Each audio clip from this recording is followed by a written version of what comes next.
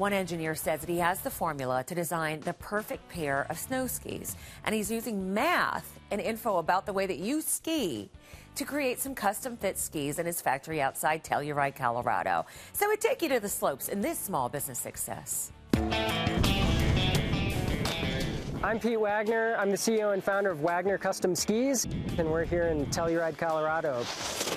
I've been skiing for about 33 years.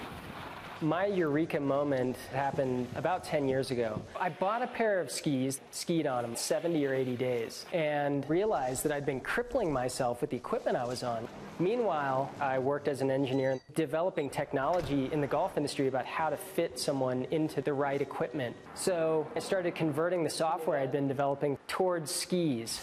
Our design algorithms first figure out what your unique skier DNA profile is, like where you ski, your height and your weight and your age. Once it figures out what your perfect ski is going to be mathematically, then it actually creates a recipe for all of our shop equipment here.